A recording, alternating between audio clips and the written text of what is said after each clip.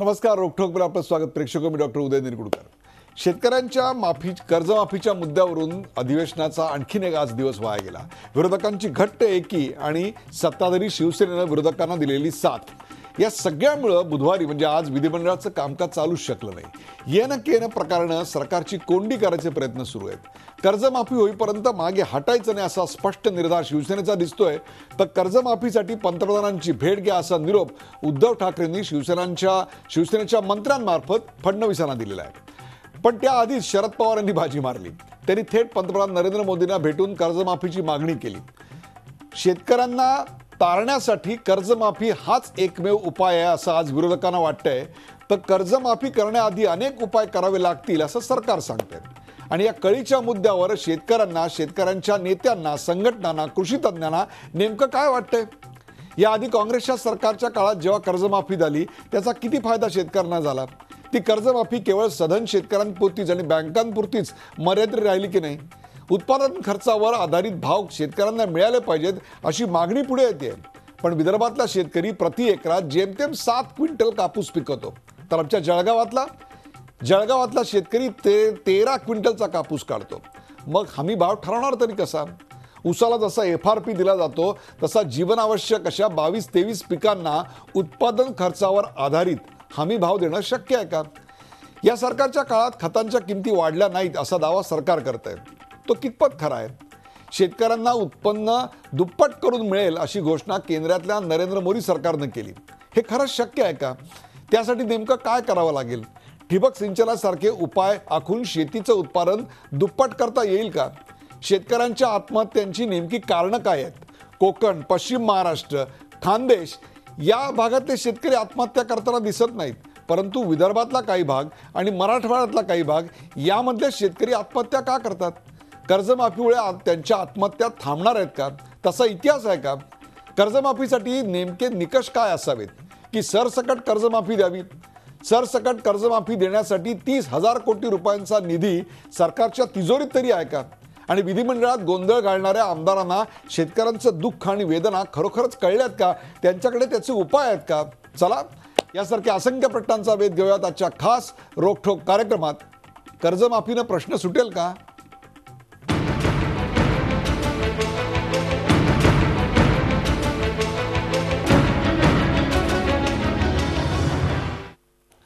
कर्जमाफीनं प्रश्न सुटेल का? सुरुवातीला पाहूया या विषयावरचा खास रिपोर्ट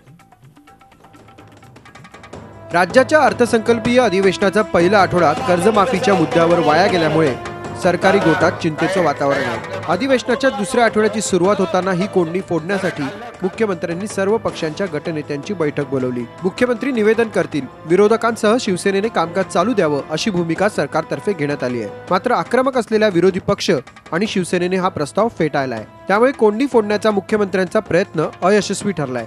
विरोधकांनी विधानभवनाच्या पायऱ्यांवर कर्जमाफीच्या मुद्द्यावर सरकार विरोधात घोषणाबाजी सुरूच ठेवली आहे. काँग्रेस राष्ट्रवादी काँग्रेस पासनं शिवसेना शेतकरी कामगार पक्ष सर्व विरोधी पक्षाने आग्रह धरला. सरकार अद्यापही या विषयाबद्दल गंभीर नाही आहे. फक्त वेळ काढूपणाचं धोरण त्यांनी अवलंबलेलं आहे. आता जर हे म्हणतायत की परत आम्हाला योग्य वेळेला द्यायची आहे उद्या जर या तीस हजार कोटीच्या पंचेचाळीस हजार कोटी झाल्यानंतर हे कसे देणार आहे सभापती महोदय कर्जमाफी? हा मुख्य मुद्दा मधून आत्ता आम्हाला कर्जमाफी पाहिजे आम्हाला आत्ता कर्जमुक्ती पाहिजे. त्याच्याशिवाय सभा सभापती महोदय हे सभागृह चालणार नाही. गटनेत्यांच्या बैठकीनंतर काँग्रेस राष्ट्रवादी आणि शिवसेना या तीन पक्षांची एकत्र बैठकही पार पडली. या बैठकीनंतर विधानसभा आणि विधान परिषदेचं कामकाज सुरू होताच या तीनही पक्षांनी सभागृहातही कर्जमाफीच्या मुद्द्यावर सरकार विरोधात आक्रमक भूमिका घेतली. दुपारी मातोश्रीवर झालेल्या शिवसेना मंत्र्यांच्या बैठकीत उद्धव ठाकरेंनी हा मुद्दा लावून धरण्याचे आदेश दिलेत. मुख्यमंत्र्यांनी पंतप्रधान मोदींशी कर्जमाफीबाबत चर्चा करावी आणि कोंडी फोडावी अशी शिवसेनेची मागणी आहे. आम्ही सांगितलं की तातडीने बैठ माननीय पंतप्रधानांची वेळ घ्या. आपण सरकार म्हणून त्यांच्याकडे जाऊन त्यांच्याशी चर्चा करू. आणि ह्या संदर्भामध्ये केंद्र सरकारची जी काय भूमिका असेल सकारात्मक नकारात्मक आणि मग राज्याची काय भूमिका असेल या संदर्भात आपल्याला सभागृहाला आणि महाराष्ट्राला सांगावलेलं शेतकऱ्यांना ते निवेदन करा. त्यानंतर कामकाजाला सुरुवात होईल. जिल्हा परिषद आणि पंचायत समितीमध्ये काँग्रेस आणि राष्ट्रवादी काँग्रेसला बरोबर घेत भाजपला सत्तेपासून दूर ठेवण्याची रणनीती शिवसेनेने आखली आहे. तर दुसरीकडे अर्थसंकल्पीय अधिवेशनामध्ये कर्जमाफीच्या मुद्द्यावर काँग्रेसने राष्ट्रवादी काँग्रेसची हातमिळवणी करत भाजपला आणि पर्यायाने मुख्यमंत्र्यांना अडचणीत आणण्याची खेळी शिवसेनेने केली आहे. शिवसेनेच्या या खेळमुळे भाजपच्या गोटात आता मात्र अस्वस्थता वाढू लागली आहे. मी असं म्हणत नाही की आत्ता सभागृह सुरू करा पण सभागृह सुरू झालं पाहिजे कामकाज व्हायला पाहिजे अनेक प्रश्न अनेक लक्षवेधी पेंडिंग आहेत. हा विषय इतका मोठा आहे की असा ॲब्रेप्टली ठरवता येणार नाही. आणि माननीय मुख्यमंत्री महोदयांची याच्यावर तयारी आहे सभागृहातल्या सगळ्या विरोधी पक्षांनी बसावं.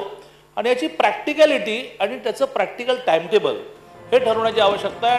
ही अस्वस्थता संपवण्यासाठी मुख्यमंत्री आणि भाजपचे धुरुणी काय करतात यावर सभागृह सुरू राहणार का हे अवलंबून आहे. दिनेश दुखंडेसह दीपक बातुसे झी मीडिया मुंबई. कर्जमाफीनं प्रश्न सुटेल का या विषयावरचा हा रिपोर्ट आपण पाहिला तर त्याची चर्चा करण्यासाठी आज मी आमंत्रित केले प्रेक्षको आज मुद्दामून राजकारणी लोक टाळून मी एक प्रकारे शेतकऱ्यांच्या प्रश्नाचा अभ्यास असणारे अशी मंडळी फक्त बोलले आहेत आपल्यासोबत आहेत. स्वाभिमानी शेतकरी संघटनेचे नेते राजू शेट्टी. राजू शेट्टी दिल्लीहून या कार्यक्रमात सहभागी होत आहेत. राजू शेट्टी आपल्या या कार्यक्रमात स्वागत. शेतकऱ्यांचे नेते पाशा पटेल हे देखील आपल्याबरोबर आहेत. पाशा पटेल आपलं स्वागत. शेतकऱ्यांचे नेते विजय जावंगिया हे आपल्याबरोबर आहेत. विजय जावंगिया वर्ध्याहून या कार्यक्रमात सहभागी होत आहेत. विजयजी आपलं स्वागत. आणि अभय टिळक अर्थ अभ्यासक अभय टिळक पुण्याहून या कार्यक्रमात सहभागी होत आहेत. पहिला प्रश्न राजू शेट्टी यांच्याकडे. राजू शेट्टी हा जो कर्जबाजारीपणा आहे तो कशामुळं आहे? सरकारी धोरणांमुळं निसर्गामुळं की शेतकऱ्यांनी नवतंत्रज्ञानाचा वापर केला नाही आधुनिकतेचा वापर केला नाही याच्यामुळं? कशामुळे हा कर्जबाजारीपणा?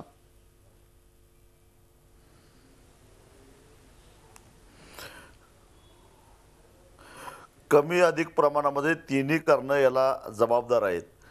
एक तर शेतकऱ्या हरित क्रांतीनंतर शेती व्यवसायाकडं आणि शेती संशोधन केंद्राकडं सरकारनं ज्या गांभीर्यानं बघायला पाहिजे होतं ते बघितलं नाही. आज जगभरातल्या वेगवेगळ्या देशामधले जी काही शेती संशोधन संस्था आहेत ते कुठल्या कुठं जाऊन पोचलेले आहेत परंतु आमच्याकडं पी एच डी करून फक्त इन्क्रिमेंट वाढवण्याच्या पलीकडं आमच्या संशोधकांनी काही केलं नाही. आणि सरकारनं सुद्धा गांभीर्यानं या संशोधन सं- संस्थेकडे बघितलं नाही.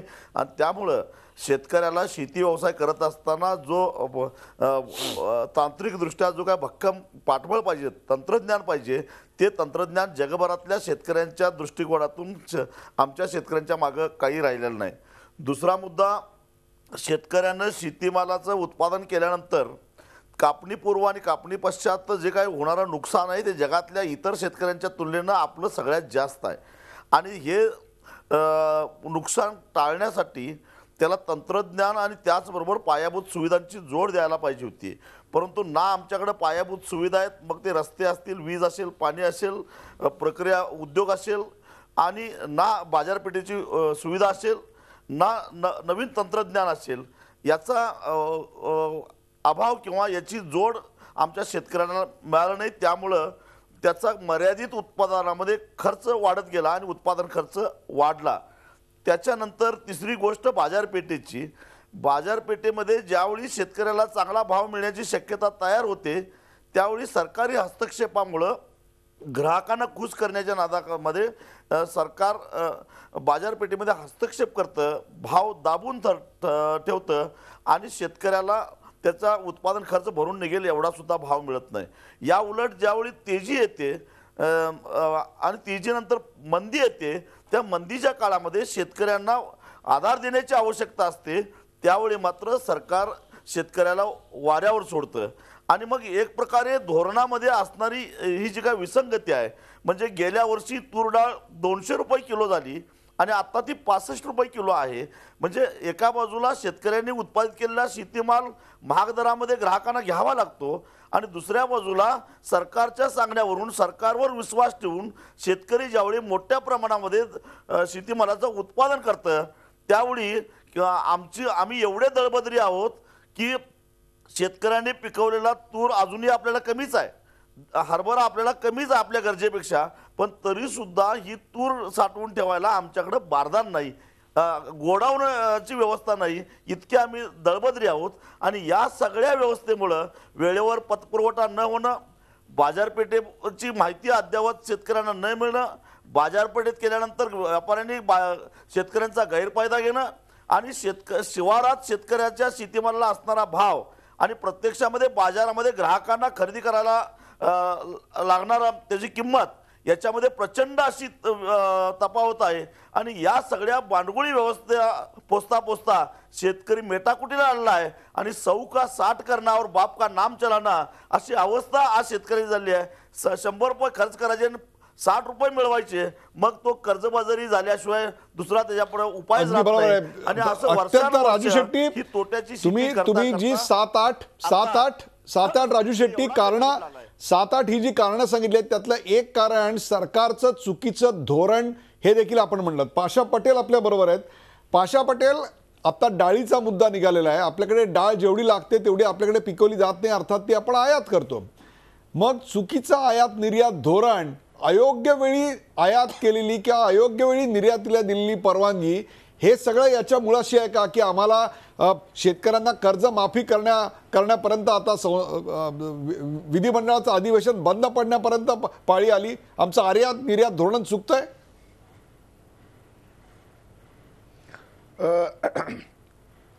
आपलं खरं तर मी एका गोष्टीसाठी अभिनंदन करतो की स्पेसिफिक प्रश्न कर्जमाफीनं प्रश्न सुटेल का? या संदर्भामध्ये आपण जो चर्चा आज ठेवलेली आहे त्याबद्दल खरंच आपलं अभिनंदन करतो मी. आपण स्पेसिफिक तुरीच्या संदर्भामध्ये आत्ता जे सांगितलेलं आहे ते दोन गोष्टी तुरीच्या संदर्भामध्ये यावर्षी झालेल्या आहेत. माझ्या लातूर जिल्ह्यापुरतं जर बोलायचं झालं तर गेल्या वर्षी सत्तर हजार हेक्टरमध्ये तुरीचा पेरा होता. यावर्षी एक लाख दहा हजार हेक्टरमध्ये तुरीचा पेरा झालेला आहे. गेल्या वर्षापेक्षा यावर्षी तिप्पट उत्पादन झालेलं आहे. म्हणजे दोन गोष्टी झाल्या की पेरा वाढला आणि उत्पादनही वाढलं. एक आणि त्याच्यानंतर की ह्याचं आकर्षण काय होतं? का तर गेल्या वर्षी नऊ दहा हजार रुपयानं नाफेडनं खरेदी केली होती तूर. म्हणजे तुरीमध्ये कुठल्याच प- प- पिकात काही शिल्लक राहत नाही. आणि सरकार स्वतः बाजारामध्ये येऊन तूर खरेदी करू लागलेलं आहे. ही अशा लोकांना वाटल्याने म्हणून लोकांनी यावर्षी तुरीचं उत्पादन जास्त केलं. आता नेमकं देशांतर्गत शेतकऱ्यांनी उत्पादन वाढवलं आणि निसर्गाने साथ दिली आणि नेमकं त्याच वेळेस परदेशातून आणि त्याच काळामध्ये परदेशातून येणं आणि त्याच्यामुळं तुरीचे भाव गडगडलेले आहेत हे शंभर टक्के खरं आहे. परंतु याला सुद्धा एक सगळ्यात चांगली गोष्ट अशी आहे की अक दोन हजार अकरा बारामध्ये आपल्या राज्यामध्ये दोन लाख क्विंटल तूर खरेदी झाली होती. त्यावेळेस सुद्धा तुरीचा प्रश्न तयार झाला होता. फक्त दोन लाख क्विंटल खरेदी झाली होती आणि दोन लाख क्विंटलचे पैसे द्यायला नऊ महिने लागले होते. परंतु यावर्षी देवेंद्र फडणवीसच्या सरकारने त्याच्यावर मात करण्यासाठी नैसर्गिक परिस्थिती तयार झालेली आहे आणि त्या परिस्थितीवर मात करण्यासाठी देवेंद्र फडणवीसने जो सरकारने जे चमत्कार केला ती आत्तापर्यंत तेवीस लाख क्विंटल तुरीची खरेदी झालेली आहे आणि पाचशे छप्पन कोटी रुपये शेतकऱ्यांना दिलेले आहेत. म्हणजे परिस्थिती तयार झाल्यानंतर त्या परिस्थितीवर मात कशी करायची हे फडणवीस सरकारने आपल्याला दाखवून दिलेलं आहे. आणि परंतु- तुमच्या माहितीसाठी एक गोष्ट मी नक्की सांगणार आहे की हा. नाही पाशा पण.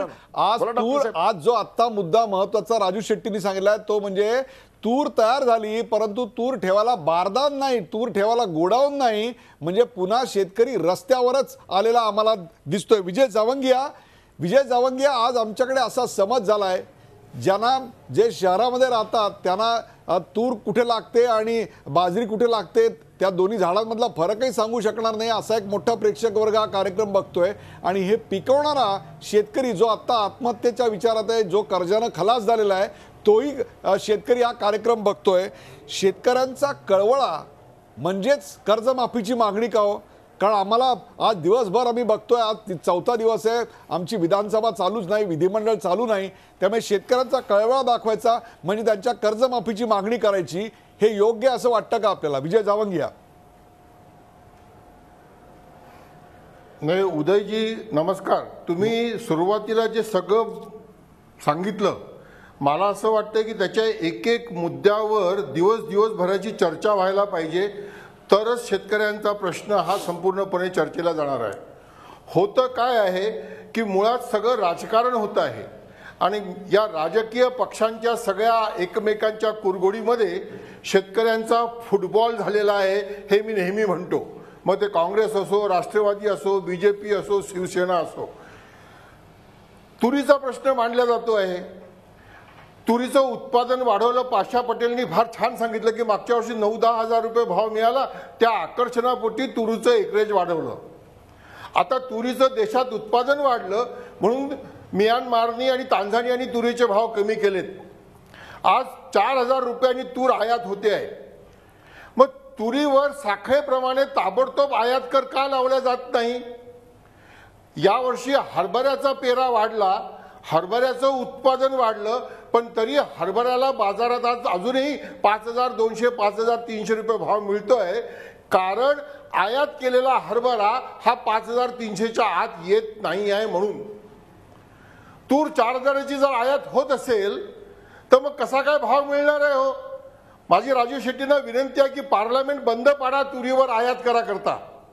तुरीवर ताबडतोब आयात कर लावून घ्या आणि तुरीच्या डाळीची जी निर्यात बंद आहे ती सुरू करून घ्या आणि साखरेप्रमाणे तुरीची डाळ निर्यात करण्याकरता सबसिडी मागून घ्या.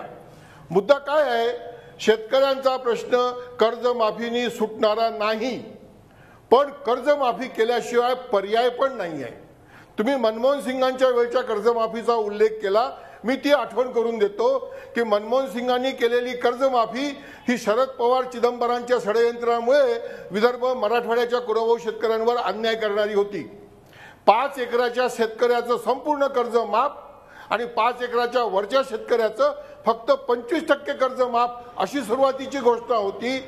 उदयजी विदर्भातला सहा एकराचा शेतकरी वीस हजाराचा कर्जबाजारी जर असेल तर त्याचं त्या घोषणेप्रमाणे फक्त पाच हजार रुपयाचं कर्ज माफ झालं असतं.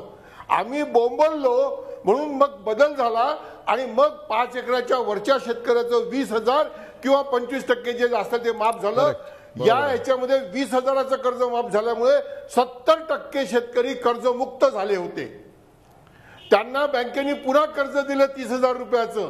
ते वर्ष दुष्काळाचं झालं पुन्हा तीस हजाराचं कर्ज मिळालं. वीस हजाराची माफी मिळालेला शेतकरी दोनच वर्षात साठ हजार रुपयाच्या कर्जात गेला. का गेला? भाजप काय करत होती तेव्हा विरोधी पक्षात? मला काय वाटतं उदयजी तुम्ही खूप चांगली चर्चा रंगवता हो पण ही चर्चा लॉजिकल एंड पर्यंत जाण्याची गरज आहे. शेतकऱ्यांच्या कर्जमाफीचा मुद्दा आज शिवसेना लावून धरते आहे. कारण मोदींनी ते हातात दिलं. नरेंद्र मोदी साहेबांनी प्रधानमंत्री साहेबांनी उत्तर प्रदेशमध्ये भाजपचं सरकार स्थापन झालं तर आम्ही कर्ज माफी करू अशी घोषणा केली. अमित शहाजींनी घोषणा केली की कॅबिनेटच्या पहिल्या बैठकीत उत्तर प्रदेशचं कर्ज माफ होणार. आता शिवसेना आणि भा- शिव काँग्रेस आणि राष्ट्रवादी त्याचा फायदा घेतात आहेत. श्रेय लाटण्याकरता हे नाटक करतात आहेत. यांना काही शेतकऱ्याचा कळवळा नाही आहे अगदी बरोबर मोदींनीच यांना गवत दिलं आणि हे ते चढतात आहेत आता विजय जावंगिया तुम्ही विदर्भातल्या शेतकऱ्याचा विजय जावंगिया आहे? तुम्ही आता विदर्भातल्या शेतकऱ्याचा मुद्दा काढलेला आहे. विदर्भाच्या शेतकऱ्याचा कापूस आणि खानदेशातल्या शेतकऱ्याचा कापूस हा प्रश्न दो- दोन मिनिटात मी घेऊन तुमच्याकडे येतो. आपल्यासोबत अभय टिळक आहेत. अभय टिळक मागच्या नऊ वर्षात कर्जमाफी देऊ नये आत्महत्यांची सत्र विजय टिळक आपल्याकडे थांबले अभय टिळक थांबलेली नाही आहेत त्यामुळे कर्जमाफी हा एकमेव म्हणजे ज्याच्याशिवाय प्रश्न सुटणार नाही आणि पर्याय नाही असं सांगितलं जातं असं आपल्याला वाटतं का? एक अर्थतज्ञ म्हणून आपण काय सांगाल? आपण जर थोडी जी शासकीय ज्याला आपण आर्थिक सर्वेक्षण अहवाल म्हणतो जो दरवर्षी राज्याच्या अर्थसंकल्प विधानसभेच्या पटलावरती ठेवला जातो त्याच्या आदल्या दिवशी राज्याचं अर्थचित्र स्पष्ट करणारा जो अहवाल सभागृहासमोर मांडला जातो त्याची जर आपण आकडेवारी बघितली तर उदयजी आपल्या असं लक्षात येईल की राज्यातला संपूर्ण शेती उद्योग एका क्रायसिसमध्ये आहे. हा काही वेगळ्या काय फक्त अल्पभूधारक शेतकरी कोरडवाहू शेतकरी असा प्रश्न नाही आहे एकूण संपूर्ण शेती उद्योगाबद्दल आपण बोलतो आहे मी दोन मिनटामध्ये फक्त अगदी जी स कळीची आकडेवारी आहे ती फक्त मांडतो. म्हणजे त्याचं व्यापकता लक्षात येईल. सत्तर एकाहत्तरमध्ये राज्यामध्ये जेवढी शेती करणारी कुटुंब होती दर शेतकरी कुटुंबामागे वैती खालचं क्षेत्र जवळपास चार हेक्टर म्हणजे दहा सा अकरा एकराच्या आसपास होतं. आत्ता दोन हजार चौदा पंधराची आपण आकडेवारी जर बघितली तर राज्यामध्ये दर कु- कुटुंबामागचं वैतिकालचं क्षेत्र दीड हेक्टरपेक्षा सुद्धा काली सरासरीने घसरलेलं आहे. दोन राज्यातली जवळपास आज अठ्ठ्याहत्तर एकोणऐंशी टक्के किंवा जवळपास पंच्याहत्तर टक्के जमीन ही शुद्ध कोरडवाहू आहे. तीन दोन हजार अकराची आकडेवारी समजा आपण बघितली. तर राज्यामधले जवळपास एकोणपाच एकोणपन्नास टक्के मुख्य श्रमिक हे शेतकरी आणि शेतमजूर या दोन्ही स्वरूपामध्ये शेतीवरती अवलंबून आहेत. याचा अर्थ एकीकडे सिंचन गोठलेलं आहे दुसरीकडे शेतीवरचा मनुष्यबळाचा भार घटत नाही आहे एकीकडे राज्य औद्योगिकदृष्ट्या आघाडीवरती आहे नागरीकरणात आघाडीवरती आहे पण शेतीवरचा भार कमी होत नाही आहे परिणामी दर व- वर्षागणिक शेतीचं स सरासरी आकारमान घटत झालं आहे या सगळ्याचा एकत्रित परिणाम होऊन शेती आज किफायतशीर राहत नाही आहे त्यामुळे आधारभूत किमती आम्ही वाढवल्या. कितीही सरकारने आयाती निर्यातीच्या धोरणामध्ये सुसूत्रता आणली जी आणली जात नाहीये आणि तिसरी महत्त्वाची गोष्ट जरी आधारभूत किमतीचं धोरण राबवून आम्ही सरकारी खरेदीचं धोरण जरी राबवलं तरी मुळामध्ये ह्या सगळ्या दुष्टचक्रामध्ये सापडलेल्या शेतकऱ्याची सरासरीने उत्पादकता अत्यंत अल्प असल्यामुळे खरोखर आपण म्हणतो तसं की दुरून डोंगर साजरे तसं बाजारात हम हमी भाव किती असला मुळात हमी भावाने खरेदी करण्याची यंत्रणाच अनेक ठिकाणी आज कोलमडलेली आहे आहे. तुरीच्या बातम्या आपण रोज आहे. वाचतोय ह्या सगळ्या परिस्थितीमध्ये आमचा शेतकरी आज सापडलेला आहे. कर्जमाफीचा उपाय जो आहे तो केवळ अत्यंत तात्कालिक आणि अगदी ताबडतोबीचा नाही, पण. तात्पुरता दिलासा देणारा निर्णय आहे. कारण ज्या शेतकऱ्याचा सातबारा. अभय टिळक एक प्रश्न असा आहे की आपण हा तात्कालिक उपाय म्हणताय. आता सरकारला इतकं कोंडीत पकडलेलं आहे. हो. जर उद्या जर उद्या देवेंद्र फडणवीस सरकारने असं ठरवलं की चला ही सगळी सात बारे कोरे करायचे संपूर्ण कर्जमाफी द्यायची. तर माझा जो आत्ताचा आकडा आहे correct me if I am wrong तीस हजार कोटी रुपयाचा फटका या सरकारला बसणार आहे. महाराष्ट्र सरकार आज तीस हजार कोटी रुपये उदयजी- शेतकऱ्यांच्यासाठी देण्याकरता विजय जवंगे येतो मी आपल्याकडे. अभय टिळक तीस हजार कोटी रुपये देण्याच्या एवढं सक्षम आहे असं आपल्याला वाटतंय का? नाही मुळामध्ये आपण जर बघितलं तर गेली जवळपास दहा किंवा खरं सांगितलं तर पंच्याण्णव सालानंतर सातत्याने राज्याची वित्तीय परिस्थिती ही ढासळत आलेली आहे.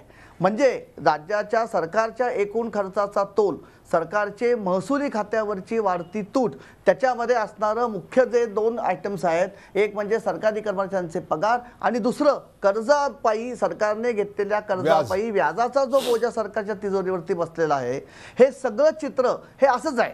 त्यामुळे तीस हजार कोटीने आणखी ह्याच्यामध्ये भर पडल्यामुळे फार तर आपण असं म्हणू की जशी आमच्या मराठीमध्ये भर येते या संदर्भात योग्य नाही. पण भरल्या गाड्याला चिपाडाचं काय ओझं अशी अवस्था आहे की मुळातच राज्य कर्जबाजारी आहे त्याच्यामध्ये तीस हजार कोटीची भर पडेल.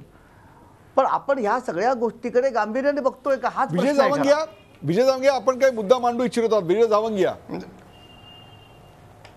नाही नाही मला मला आता हाच मुद्दा मांडायचा तुम्ही जो तीस हजार कोटीचा आकडा दिलेला आहे तीस हजार कोटी जर राज्य सरकार ओझं घेऊ शकत नाही तर सातव्या वेतन आयोगामध्ये असं म्हटलं जात आहे की राज्यावर पंधरा हजार कोटी रुपयाचा बोजा येणार आहे. किती टक्के महाराष्ट्राच्या जनतेकरता पंधरा हजार कोटीचा बोजा घेणार आहे? आणि हे पंधरा हजार कोटीचा बोजा दरवर्षीचा आहे. मी परवा कुठेतरी वाचत होतो की नीती आयोगाने एक आकडा दिला आहे की देशाच्या शेतकऱ्यांची कर्जमाफी केली तर साडेचार लाख कोटी रुपये लागतील. मला असं वाटतं की साडेचार लाख कोटी रुपये दिसतात खूप हो पण साडेचार लाख कोटी रुपये देशाच्या व्यवस्थेमध्ये काही खूप जास्त नाही आहेत. या वर्षीचं जे देशाचं बजेट आहे ते वीस लाख कोटी चौवेचाळीस हजार रुपयाचं बजेट आहे आणि त्यातले एक लाख कोटी रुपये एक कोटी सरकारी कर्मचाऱ्यांना सातव्या वेतन आयोगाचा बोजा आहे. जर एक कोटी लोकांकरता दरवर्षी करता आम्ही एक लाख कोटीचा बोजा घेऊ शकतो तर आठ दहा वर्षामध्ये साठ टक्के जनतेला जो देशाला अन्नधान्य देतो भाजीपाला देतो फळं देतो तुमच्या माझ्या स्वास्थ्याकरता त्याच्याकरता साडेचार लाख कोटी रुपये दिले तर कोणता आभाळ कोसळणार विजय- हो? जावंगिया, विजय जावंगिया? आपण मांडणी करताय- इच्छाशक्तीचा आहे विजय विजय दवंगे आपण जी मांडणी करताय ती एका दिशेने आहे हा. माझं मत आहे की याचा एक दुसरा विचार करता येणार आहे का तो म्हणजे कर्जमाफी व्यतिरिक्त जे उपाय आहेत ज्याच्याविषयी सरकार सांगतंय किंवा शेतकऱ्यांचं उत्पन्न दुप्पट केलं जाईल असं नरेंद्र मोदी म्हणतायत या व्यतिरिक्त चांगला पाऊस झाल्यानंतरही शेतकऱ्यांच्या आत्महत्या शेतकऱ्यांची पत आणि जो पहिला मुद्दा राजू शेट्टी यांनी मांडला तो म्हणजे शेतीला लागणारी जी सगळी व्यवस्था आहे ती उभी करणं. या सगळ्याची चर्चा करूया. का ब्रेक नंतर कुठे जाऊन का पाहत राहा. चोवीस तास आपण पाहताय. कर्जमाफीनं प्रश्न सुटेल.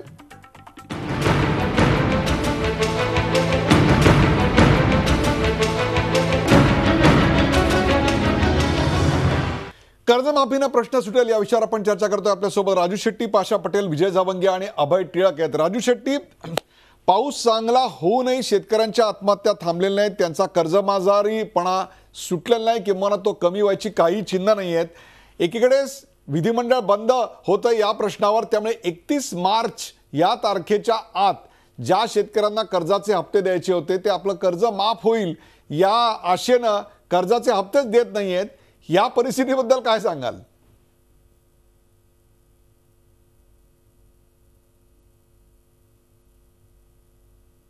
नाही, एक तर कर्जमाफीमुळं शेतकऱ्यांचे सगळे प्रश्न सुटतील असं आम्ही अजिबात या भ्रमात नाही आहे. परंतु आज परिस्थिती अशी आहे की आज शेतकरी मरणासन्न अवस्थेमध्ये आहे. आत एखाद्या अत्यवस्थ पेशंटसारखी अवस्था त्याची झालेली आहे. मग अत्यवस्थ पेशंटला दवाखान्यामध्ये भरती केल्यानंतर पहिल्यांदा डॉक्टर काय करतो तर त्याला सलाईड लावून मग पुढचे उपचार करायला सुरुवात करतो. त्या पद्धतीनं जर का शेतकऱ्याला शेती व्यवसायामध्ये टिकून राहून त्याला पुन्हा नव्यानं सुरुवात करायची असेल तर त्याच्या डोक्यावरचं कर्ज पहिल्यांदा संपवलं पाहिजे. आणि तरच मग न त्याला पायाभूत सुविधांची जोड देऊन आणि बाकीच्या सगळ्या बाजारपेठेची शाश्वती देऊन हमीभावाची शाश्वत देऊन त्याला उभा करता येईल. ते जर नाही केलं तर एक लक्षात घ्या की एक लाख एकशे एकवीस कोटी जनतेला अन्नधान्य पुरवेल एवढी बाजारपेठ जगाच्या पाठीवर दुसरी नाही आहे. तेव्हा देशा या देशातल्या शेतकऱ्यांना शेतीमध्येच काम केलं पाहिजे. आणि त्यानं जर का शेतीमध्ये काम करायचं असेल तर आता डॉक्टरचा पोरगा डॉक्टर होतो पुढाऱ्याचा पोरगा पुढारी होतो परंतु शेतकऱ्याचा पोरगा शेतकी करायला तयार नाही.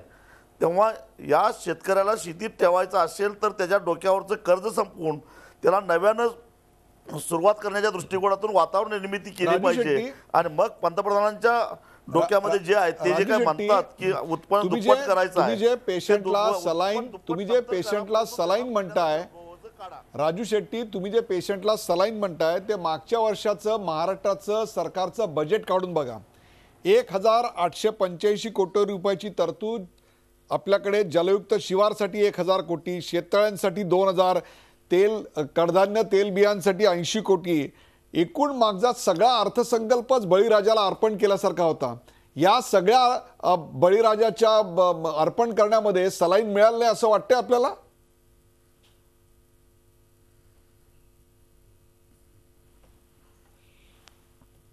एक लक्षात घ्या एकूण लोकसंख्येपैकी बासष्ट टक्के लोक शेती व्यवसायावर अवलंबून असणारे लोक आहेत.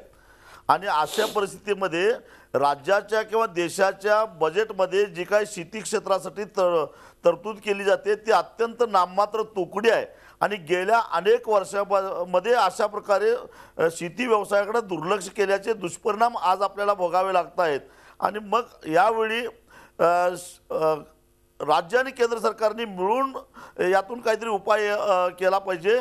एकट्या राज्याची ही जबाबदारी नाही आहे हे लक्षात ठेवा. कारण शेती हा विषय जरी राज्याचा असला तर शेतीमालाच्या दराच्या संदर्भातली सगळी धोरणं केंद्र सरकार ठरवतं. त्यामुळं केंद्र सरकारला जबाबदारी टाळता येणार नाही. पाशा पटेल केंद्र सरकारला जबाबदारी टाळता येणार नाही. एक असा उपाय कर्नाटकामध्ये सुचवण्यात आलेला आहे आणि तो म्हणजे नॅशनलाइज बँकांची जी कर्ज आहेत ती केंद्र सरकारनं भागवावीत आणि जी राज्यातल्या सहकारी बँकांची कर्ज आहेत ती राज्य सरकार भागवेल. आणि असं करून कर्नाटकामध्ये तो प्रश्न सोडवण्याचा प्रयत्न करण्यात आलेला आहे. आपल्याकडे अशा स्वरूपाचा एक रोडमॅप काही तयार करता येईल असं वाटतंय का आपल्याला? नाही याच्या संदर्भात तर मी बोलेनच परंतु मला एक माझी एक भावना आपल्यापर्यंत सग आपल्या माध्यमातून सगळ्या लोकांना पोहोचवायची की चार दिवसापासून सभागृह बंद आहे. कशासाठी तर कर्जमाफीसाठी.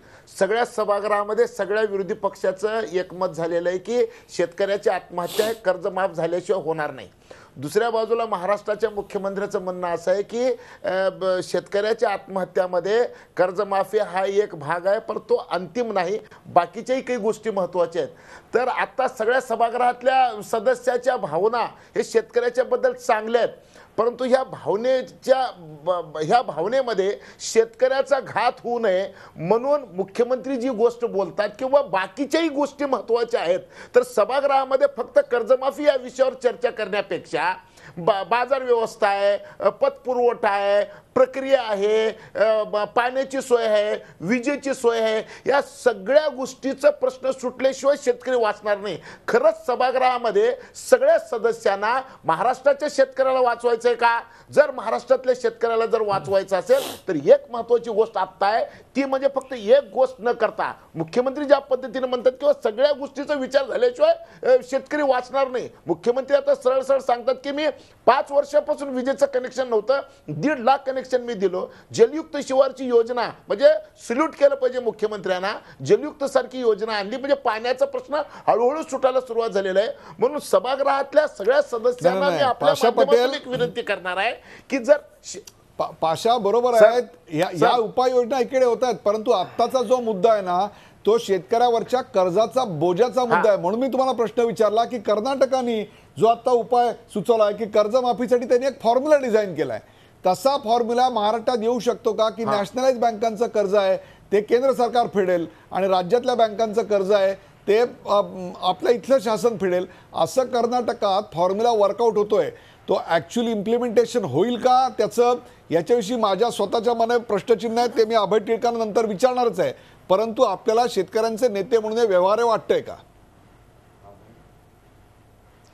नाही नाही एक तर सगळ्यात महत्त्वाची गोष्ट आहे की म्हणजे पस्तीस टक्के शेतकरी हे सगळं कर्ज घेतात पहिली गोष्ट.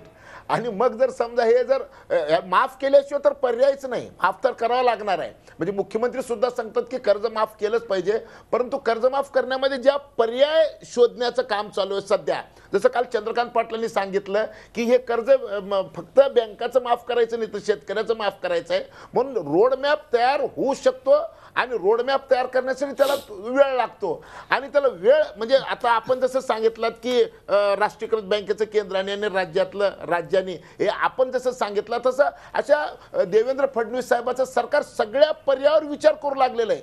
मग म्हणजे नियत कर्ज फेडायची कर्ज माफ करायची मत घेऊया. सगळ्या पर्यायाचा. अर्थशास्त्राचे अभ्यासक म्हणून अभ- अभय टिळक आपल्याला हा हा प्रकार योग्य वाटतो का? जो आता कर्नाटक सरकारमध्ये काही आपल्यासारख्या विचारवंतांनी तिकडे सुचवला आणि तो सरकार आता प्रस्तावित तरी आहे. किमान अंमलबजावणीचा मला माहीत नाही पण प्रस्तावित तरी आहे. काय सांगाल? काय झालं आहे हा मुख्य प्रश्न. आपण शेतकऱ्यांची कर्ज माफ केली की त्याचा ताबडतोब पहिला जो काही परिणाम होणार आहे असं होणार आहे तो बँकांवरती होणार आहे. कारण आजच आपण असं बघतोय की बँका या बुडीत किंवा थकीत कर्जांच्या बोजाखाली आहेत.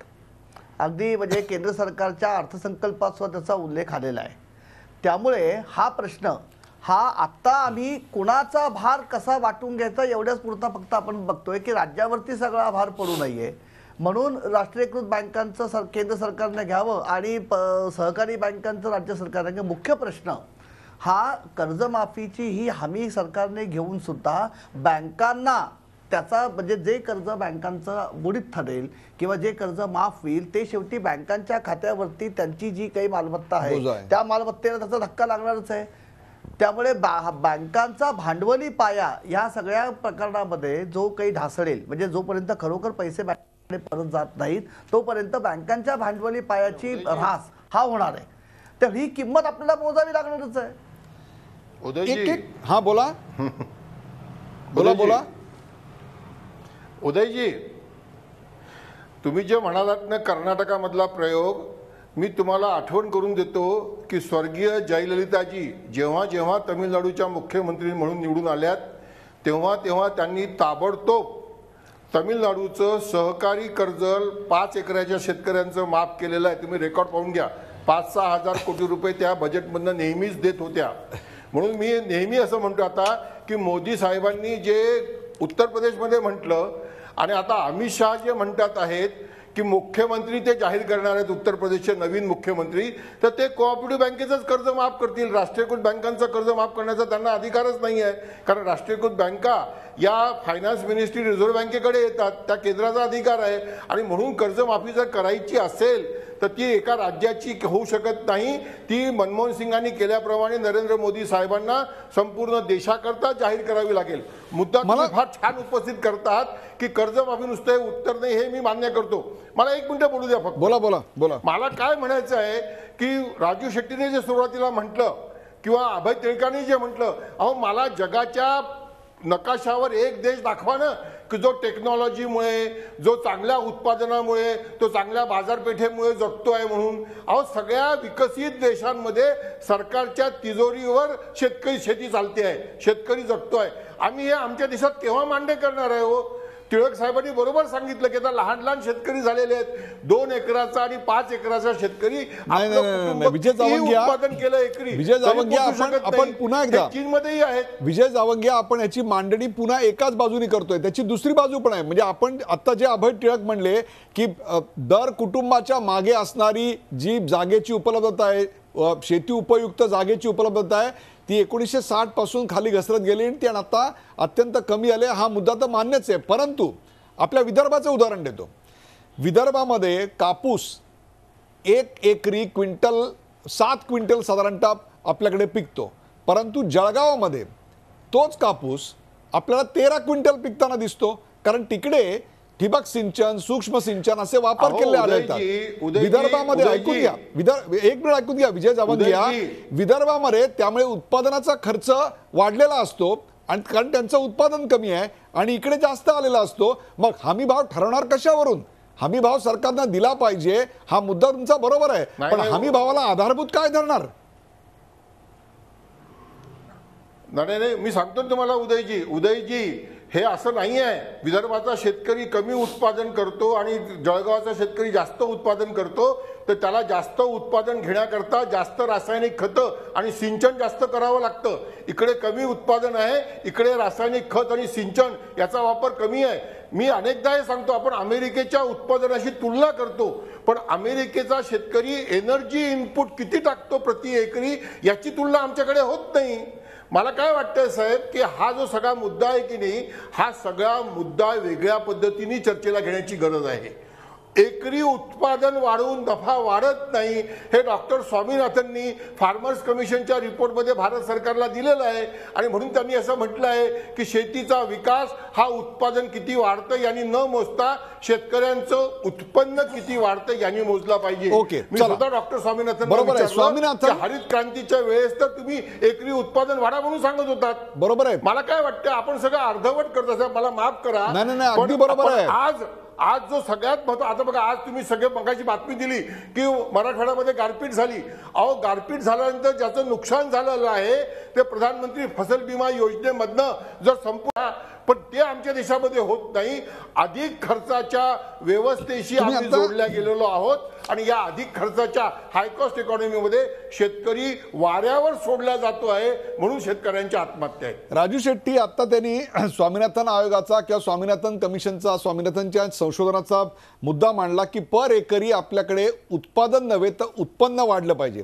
मी याच्या पलीकडे जाऊन तुम्हाला एक मुद्दा सांगतोय राजू शेट्टी आणि तो म्हणजे केवळ उत्पन्न नव्हे तर वीस ते बावीस असे आयटम्स आहेत. मग त्याच्यामध्ये तूर आहे सर्व प्रकारच्या डाळी आहेत अंडी आहेत या सगळ्यालाच अगदी बोकडसुद्धा म्हणेन मी या सगळ्याला जर हमी भाव ठरवून देण्यात आला तर सरकारवर साधारणतः महाराष्ट्राच्या सरकारवर आपली आपली मागणी लक्षात घेता चार ते साडेचार हजार कोटीचा बोजा पडणार आहे. अहो एवढे पैसे तर आम्ही आत्तापर्यंत दुष्काळावर दरवर्षी खर्च केला होता त्याच्या कित्येक पटीने जास्त. मग जर या बावीस ते तेवीस गोष्टींचे हमी भाव ठरवले आणि ग्राहकाला तो एक मिनिमम नफा घेऊन जर आपण विकायची यंत्रणा बॅलन्स करून बसवली तर ते अशक्य असं आपल्याला वाटतंय का? की याच्यामध्ये ग्राहक आणि उत्पादक दोघांचाही फायदा होईल आणि सरकारच्या तिजोरीवर याचा बोजा पडणार नाही अशी व्यवस्था कर्जमाफीच्या आधी आम्हाला निर्माण करता येणार नाही.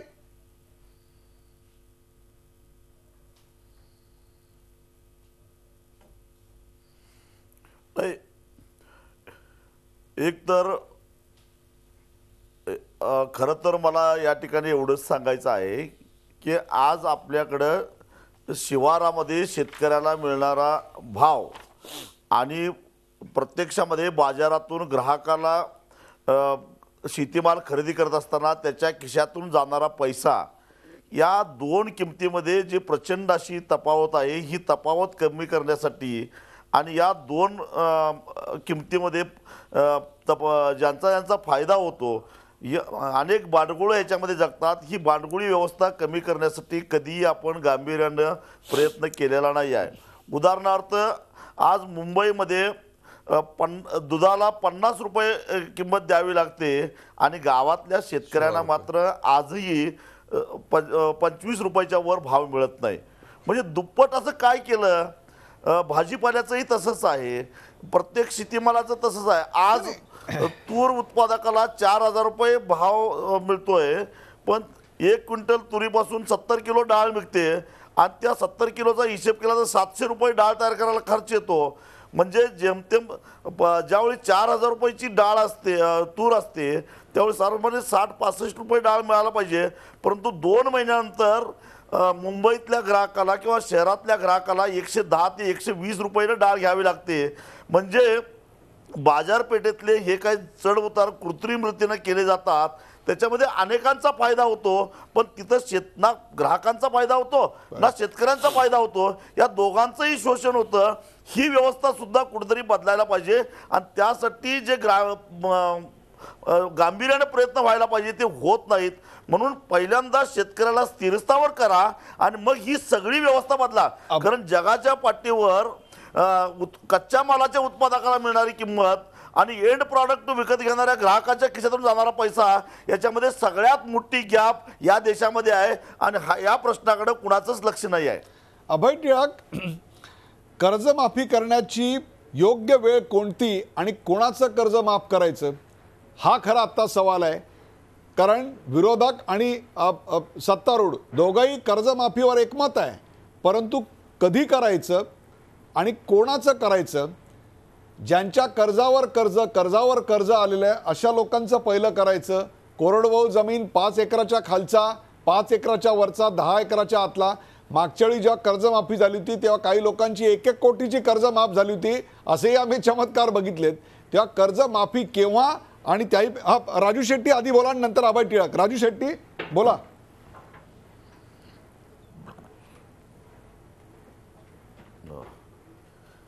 निश्चितच याच्यामध्ये एखाद्या व्यापाऱ्याची शेती असेल आणि तो केवळ व्यापारी आहे म्हणून त्याचं कर्ज माफ करा असं कोण म्हणत असेल तर माझा त्याला विरोध आहे. एखाद्या सरकारी नोकराच्या बापाचं कर्ज माफ करायची काही गरज नाही. असे याच्यामध्ये काही निकष लावले आणि जो खरा शेतकरी आहे ज्याला ज्या कुटुंबामध्ये कु- शेती व्यवसायाशिवाय कुठलाही व्यवसाय केला जात नाही आणि जे निव्वळ शेतीवर अवलंबून आहेत अशांना आज. मदतीची गरज आहे असं मला वाटतंय. तुम्ही काही निकष लावा काही नियम करा परंतु शेतकऱ्यांना आज मदत करण्याची आवश्यकता आहे. अभय टिळक काय सांगाल? केव्हा करावी आणि कोणाची करावी?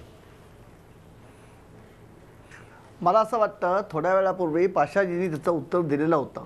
आपण जर नाबार्डचा डेटा बघितला तर असं लक्षात येतं की जवळपास ज्याला आपण मेजॉरिटी ऑफ द क्रेडिट म्हणतो जे शेतीसाठी कर्ज पुरवठा जो होतो त्यातला मोठा हिस्सा हा तुलनेने मोठे शेतकरी ज्यांना सिंचनाची हमी आहे. ज्यांचं सरासरी क्षेत्र हे थोडं अधिक आहे ज्यांचा पीक पद्धती ही बऱ्यापैकी बाजाराशी मिळती जुळती आहे असा जो त्यातल्या त्या तुलनेने बरा शेतकरी जो आहे तोच कर्ज घेण्याच्या परिस्थितीमध्ये जास्ती आहे कारण त्याला कर्जाचा वापर जमिनीमध्ये करता येतो. त्यामुळे कर्जमाफी करताना जे आता खासदार साहेब म्हणले की खरोखर जो कोरडवाहू आहे ज्याची शेती कर आज ऐंशी टक्के राज्यातले शेतकरी आमचे ब- दोन हेक्टरच्या आत पाच एकरच्या आतले आहेत. कोरडवाहू भागामधला तृणधान्य प्रमा प्रधान ज्याचं क्रॉपिंग पॅटर्न आहे त्याच्यात पुन्हा ज्याच्याकडे मुख्यतः ज्वारी आहे कारण ज्वारीवरती कुठल्याही प्रकारची प्रक्रिया करायला आम्हाला फार वावच नाहीये. असे निकष लावून म्हणजे त्याची शेती कुठे आहे. तो दुर्गम भागातला आहे का कोरडवाहू आहे का क्रॉपिंग पॅटर्न कुठलं आहे कोणतं. पीक मुख्य आहे घरामध्ये किती माणसं आहेत असे निकष लावून जर आपण हे केलं तर त्याला काहीतरी अर्थ आहे. पाशा पटेल लास्ट वर्ड शेवटची शेवटचा अर्धा minute. Pasha Patel. Income tax भरणाऱ्या लोकांना जर कर्जमाफी दिली नाही शहरापासून जवळपास तीस किलो म्हणजे ती- शहराच्या जवळच्या सगळ्या जमिनी व्यापाऱ्यांनी घेतलेल्या आहेत उद्योजकांनी घेतलेल्या आहेत अधिकाऱ्यांनी घेतलेल्या आहेत. फक्त इन्कम टॅक्स भरणाऱ्याला जरी कर्जमाफी द्यायची नाही कुठलीच सोय सवलती द्यायच्या नाहीत एवढं जरी ठरलं तर बाकीचे सगळ्याचे प्रश्न आपोआप मिटणार आहेत आणि सरकारला काही फार मोठा बोजाबी लागणार नाही. प्रेक्षक हो, कर्जमाफीनं प्रश्न सुटेल का या विषयावरची ही चर्चा गंभीर स्वरूपाची चर्चा आपण पाहिली. भारतासारख्या कृषीप्रधान अशा देशामध्ये शेती संशोधनाकडं पुरेशा गांभीर्यानं लक्ष दिलं जात नाही शेतकऱ्यांना तांत्रिक पाठबळ मिळत नाही सरकार त्यात कमी पडतं. तंत्रज्ञानासोबत पायाभूत सोयी सुविधा आम्ही दिलेल्या नाहीत बाजारपेठांची सुविधा नाही त्यामुळे शेतीचा उत्पादन खर्च वाढतो हे सगळं एका रात्रीत निर्माण होणार नाही आहे कधी शेतकऱ्याला जास्त भाव मिळण्याची शक्यता निर्माण झाली. तर ग्राहक हिताच्या नावाखाली सरकार हस्तक्षेप करतं आणि सरकारनं वाऱ्यावर सोडल्यानं शेतकरी मेटाकुटीला आलाय. शेतकरी कर्जबाजारी झालाय. हे सगळे मुद्दे आज राजू शेट्टी यांनी अत्यंत प्रभावीपणे मांडले. तुरीमुळे निर्माण झालेल्या अडचणीच्या परिस्थितीत देवेंद्र फडणवीस सरकारनं तेवीस लाख क्विंटल तूर खरेदी केली. शेतकऱ्यांना कसा आधार दिला याचं कौतुक पाशा पटेल यांनी केलं. मुळात शेतकऱ्यांच्या प्रश्नावर राजकारण सुरू आहे. राजकीय पक्षांच्या कुरगोडीत शेतकऱ्यांचा फुटबॉल झालाय. शेतकऱ्यांच्या कर्जमाफीनं प्रश्न सुटला नसला तरी कर्जमाफीशिवाय आता दुसरा पर्याय देखील नाही याकडे विजय जावंग्या यांनी लक्ष वेधलं. शेती उद्योगाची आत्ताची अवस्था अत्यंत बिकट आहे. सरकारच्या वित्तीय परिस्थिती त्याहून बिकट आहे. कर्जबाजारी असलेलं राज्य तीस हजार कोटीचा कर्जमाफीचा बोजा सहन करू शकेल का? अशी शंका अभय टिळक यांनी व्यक्त केली. पण उसाच्या गाडीला चिपाडाचं ओझं काय? अशी पुस्ती त्यांनी जोडली. सातव्या वेतन आयोगासाठी पंधरा हजार कोटींचा बोजा सरकार सहन करतं. मग शेतकऱ्यांना कर्जमाफी दिल्यानं कोणतं आभाळ कोसळणार आहे? असा सवाल विजय जावंगिया यांनी केला. प्रत्येकाचे आपापले बघायचे व्ह्यू पॉईंट प्रेक्षक तुमच्यासमोर आले. प्रेक्षको शेतकऱ्यांच्या कर्जमाफीवरून विधिमंडळाचं कामकाज बंद पडलं जात आहे शेतकऱ्यांबद्दलचा राजकीय नेत्यांना आलेला हा कळवळा आणि त्यांनी शोधलेला उपाय कितपत उपयुक्त आणि खरा आहे याबद्दल दुमत असू शकतं. कर्जमाफी किंवा कर्जमुक्ती असा शब्दांचा खेळ करून आपणच कसे शेतकऱ्यांचे कैवारी आहोत असं भासवण्याचा खटाटोप प्रत्येक जण करतोय. पण शेतकऱ्यांच्या मूळ प्रश्नांनाच इथं कोणी हात घालत नाहीये. ज्याचा उल्लेख राजू शेट्टी यांनी केला ज्याचा उल्लेख पाशा पटेल यांनी केला किंवा विजय जावंगी यांनी केला. आधुनिक काळाप्रमाणे शेतकऱ्यांना तंत्रज्ञानाची मूलभूत अशा पायाभूत सोयी सुविधांची जोड आपण कधी देणार आहोत? शेतकऱ्यांच्या शेतीमालाला उत्पादन खर्चापेक्षा जास्त हमीभाव मिळणार आहे की नाही? बाजारपेठेची किमान पक्षी अगदी किमान पक्षी साधी गोदामांची व्यवस्था तरी सरकार करणार आहे की नाही? आमच्या शेतकरी बांधवाला ताठ मानेनं ताठ करण्यानं आणि आपला पोरगा याच व्यवसायात यावा असं वाटण्याचा जगायचा अधिकार त्याला मिळणार आहे की नाही हे खरे आजचे प्रश्न आहेत. कर्जमाफीनं शेतकऱ्यांचे सगळे प्रश्न सुटतील का? जरा शंका आहे. आज रात्री महाराष्ट्रातले आमदार जे सभागृहाचं कामकाज चालू देत नाही आहेत आणि ज्यांना कर्जमाफी आत्ता करायची नाही अशा दोघांनी शांतपणे एकत्र बसा आणि कर्जमाफीनं खरोखरच कुठला प्रश्न सुटणार आहे याच्यावर चर्चा करा. सभागृह बंद पाडून प्रश्न सुटतील असं मला वाटत नाही. या चर्चेत सहभागी झाल्याबद्दल सर्व बांधवांचे आभार. ताज्या बातम्यांसाठी पाहत राहा झी चोवीस तास. रहा एक पाऊल पुढे.